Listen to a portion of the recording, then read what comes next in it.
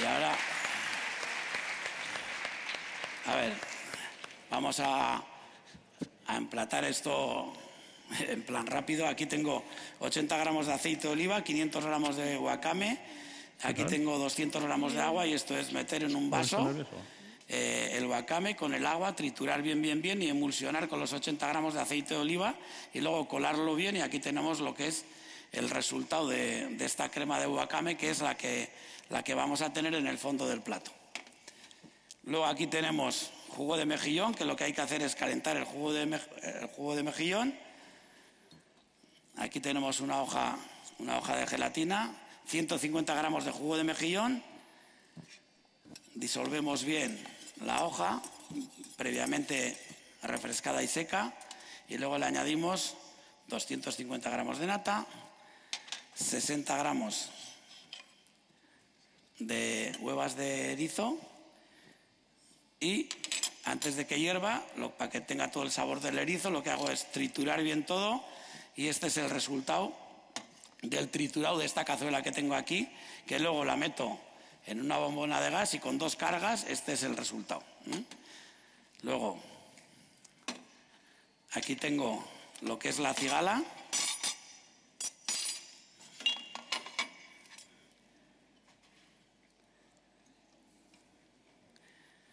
Vamos a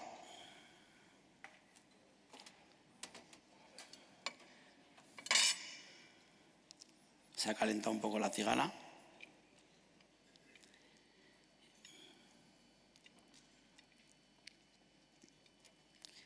Y aquí lo que solemos hacer en el restaurante es coger esta cigala y asarla a la brasa, un minuto por cada lado. Aquí como no podemos utilizar la brasa, lo que vamos a hacer es calentar esto con una gota de aceite. ¿Tenéis una gota?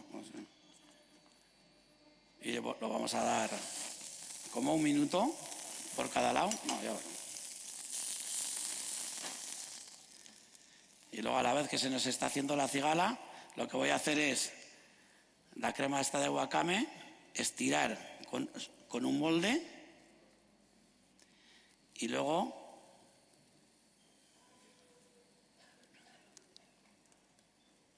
ayudarme, ayudarme del mismo pincel de darle unos golpes para que tenga la sensación de que estás en el, fondo marino. Luego esto, vamos a dar la vuelta, un minuto por cada lado. Luego aquí tenemos lo que es el, polvo de gambas, que lo que voy a hacer es con un papel, voy a acercar así el polvo de gambas para que nos quede súper bonito en el plato.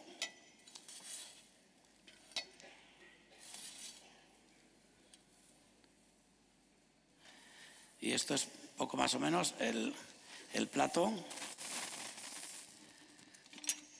Lo que es el fondo del plato, que lo que vamos a hacer ahora es, aquí tenemos la crema de hinojo que antes hemos hecho, aquí tenemos el caldo de centolla con el caldo de la alga kombu y lo que vamos es poner dos o tres cremas de erizo dos,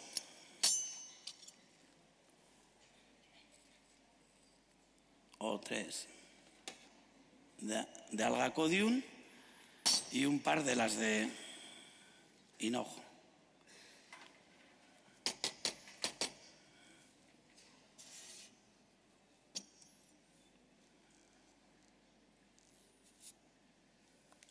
Vamos a poner la espuma de plancton que hemos hecho y en el, y en el centro del en el centro del, del plato ponemos la cigala a la parrilla y lo que haremos es que la camarera o el camarero sirvan este caldo de centolla y alga kombu para acompañar el plato delante de los clientes y así es como acaba este plato que os hemos presentado ahora mismo. ¿Mm?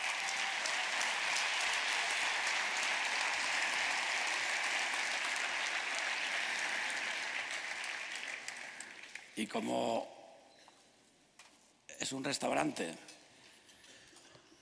que siempre tiene un plato de huevo, yo creo que no crecí por lo que me pesan, siempre le hago un homenaje a los huevos. Y, como hay que tener muchos huevos para estar en esta profesión,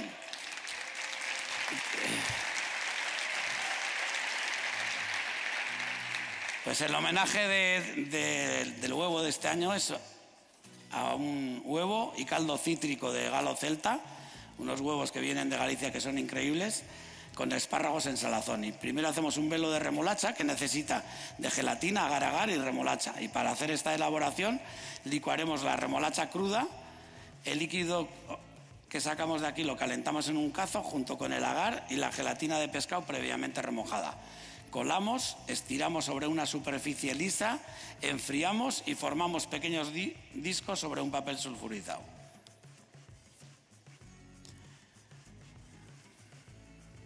Aquí veis, luego os daréis cuenta para qué es. Luego para hacer el espárrago triguero marinado necesitamos sal, pastís, anís estrellado y espárrago triguero. Y lo que hacemos es triturar la sal, el anís estrellado y el pastís hasta formar una pasta y que será con lo que marinemos los espárragos. En esa pasta pondremos los espárragos trigueros bien cubiertos, marinando por espacio de tres horas. Los lavamos, los pelamos y los cortamos en pequeñas láminas al bies. Para hacer el chorizo al vino tinto, chorizo, vino tinto, y en una sartén ponemos el chorizo, estilo, estilo barbacoa, y el vino tinto y cocemos 10 minutos por cada lado, glaseando continuamente. Dejamos enfriar y cortamos en pequeños cuadrados. Para la yema de huevo confitada, huevos y aceite de oliva. Separamos con mucho cuidado las yemas de las claras de los huevos, del galo celta, y las mantenemos en aceite conservando en el horno a 45 grados. Para los ñoquis trufados necesitamos patata cocida, trufa negra picada, caldo, nata, aceite, santana, calcic y aceite de trufa. Trituraremos primero la, patata cocida con la trufa negra picada, la nata, el caldo de ave y los aceites hasta que nos quede una masa homogénea.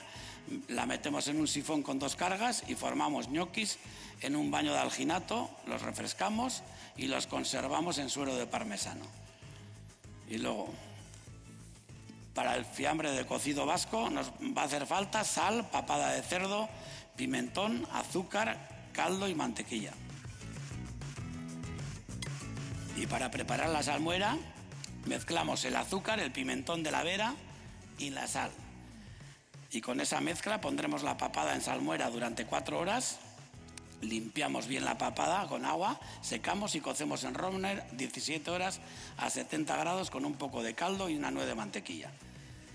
El caldo de lemongrass y jengibre lo haremos en una sartén bien caliente, doramos el, rabo de vaca y las carcasas de pichón hasta que estén bien rustidas. Las depositamos en una cubeta de silicona y añadimos la papada de cerdo ibérico fresco junto con los dientes de ajo, la cebolla en trozos, la zanahoria, la salsa de soja y por último el caldo del día. Cerramos la tapa de silicona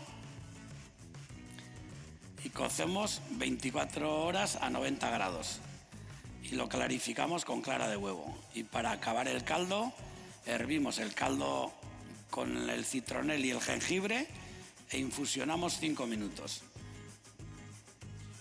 Colamos y reservamos.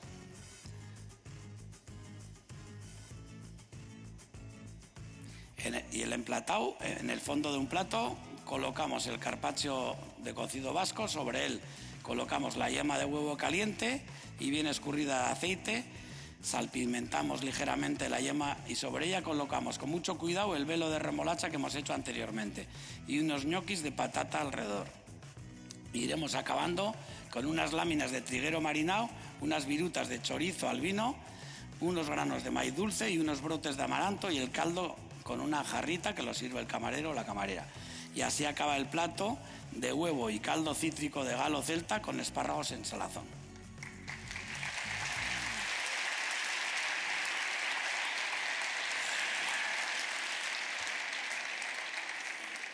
Sí que me gustaría, antes he hablado de un gran, maestro que, que me ha tocado la fibra todos los años que le conozco y cada vez que estoy con él, como es Paco Torreblanca, y deciros que detrás de todo esto hay mucho esfuerzo, mucho tesón, mucha lucha, mucha perseverancia y mucha ambición sana.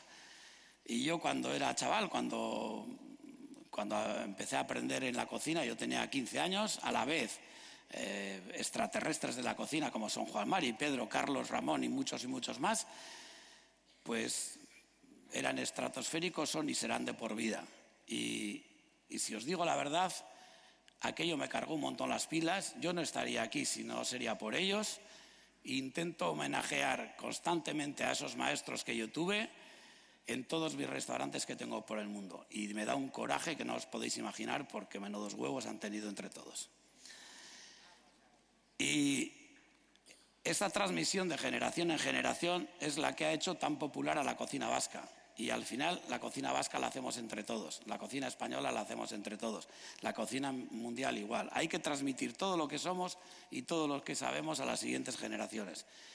Y deciros que para mí eh, esto es mi casa, yo nací aquí, lo poco que crecí, crecí en esta ciudad. Cada vez que tengo dos horas libres vengo aquí a cargar las pilas. Y San Sebastián Gastronómica ha liderado la nueva historia de la cocina mundial y de la gastronomía mundial. Y San Sebastián Gastronómica ha sido, y lo es ahora, la verdad más grande que nos ha pasado a los cocineros. ¿Creéis que avanzaríamos a pasos agigantados como avanzamos si no existían San Sebastián Gastronómicas? Ya llevamos 19 años, ojalá estemos muchísimo más y ojalá os podamos ayudar todo lo que, todo lo que esté de nuestra mano. Y para mí la actitud es la clave y la clave para salir es la innovación. Y aquí hay que, innovar, hay que innovar mucho, hay que luchar mucho, pero sin perder lo que somos. Y no os olvidéis nunca que el mejor libro que se ha escrito de cocina, sin ninguna duda, lo ha escrito la naturaleza. Y todas las mañanas, cocineras y cocineros, tenemos obligatoriamente que vigilar ese libro de la naturaleza. Y luego ir al mercado a hablar con los campesinos, pescadores, carniceros, recolectores de setas.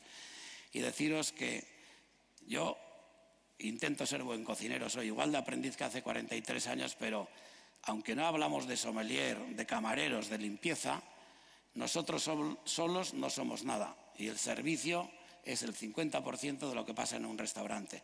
Y esa sonrisa, esa amabilidad, esas ganas de transportar felicidad que tienen la gente que está entre los comensales y los cocineros es igual de válida que nosotros. Muchas gracias a todos y,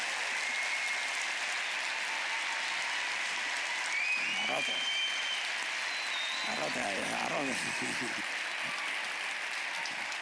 Bueno, muchas gracias. Gracias. Muchas gracias, Martín. Bueno, pues mañana a las 10 más, igual de bueno. Hasta mañana.